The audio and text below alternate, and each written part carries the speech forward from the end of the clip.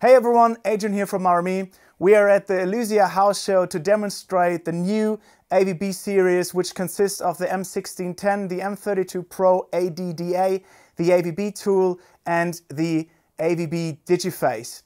And here in the studio, we prepared some stuff together with one of the main developers of the AVB series, Mark. And he will tell you more about the M1610 Pro and the 12 mic. Hi, I'm Mark and uh, I'm a developer at RME, thus normally sitting at my desk in my office, uh, bringing out new firmware for you guys, um, doing concepts on new devices and stuff.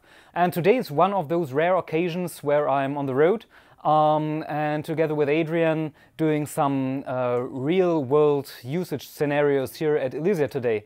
Uh, what we prepared over here is a bunch of AVB capable devices. We have the M1610, we have the 12 mic, also an AVB tool, um, and we bundled that up with uh, um, Fireface UFX, um, and also some nice microphone preamps from Elysia. Alright, so let's start with the centerpiece of our setup. It's an M1610 Pro uh, you may be aware of this device. It has 16 analog inputs, 8 analog outputs plus 2 headphone channels.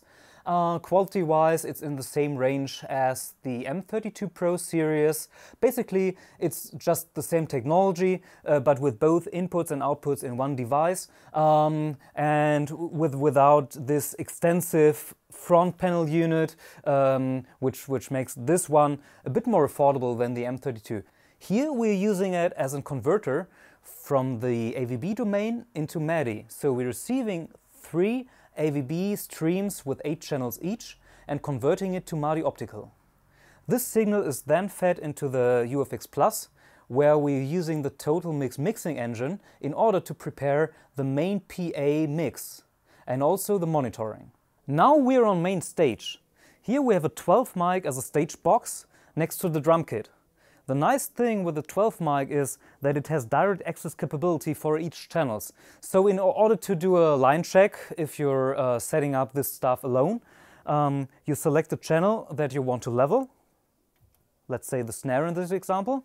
And then you see right where is the signal is in order or if it's too loud um, or too low. And you can regulate it very easily here with this knob.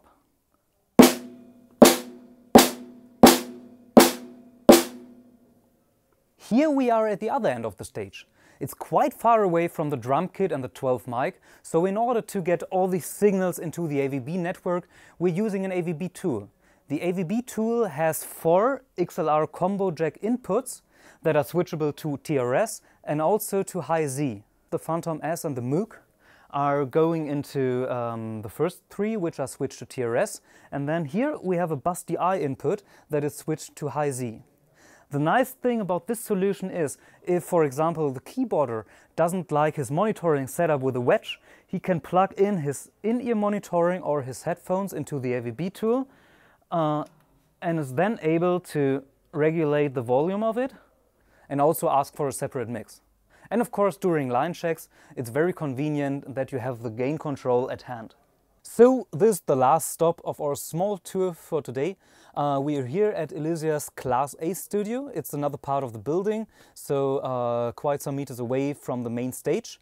And we bridged this distance by using the infrastructure that uh, is already um, that we already found in the building. It's normal Cat 5 cables uh, from the main studio into the server room and from the uh, server room here. Uh, over there we have an AVB switch next to a Digiface AVB and an M1610.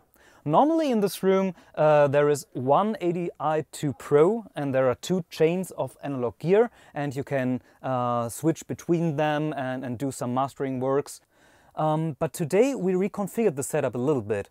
We put the M1610 here uh, and are using the 16 in and 8 outputs to get into these two change of, of mastering gear and out of it as well.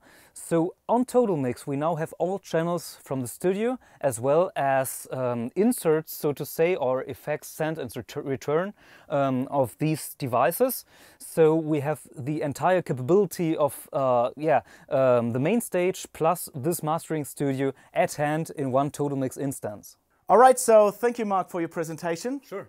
And as always, if you would like to know more about RME products, Total Mix Effects, or our new AVB series, write them down in the comment section below. And I see you on the next video, hopefully. And we'll give the stage now to the musicians and we'll hide behind Total Mix Effects. Yeah, let's do that.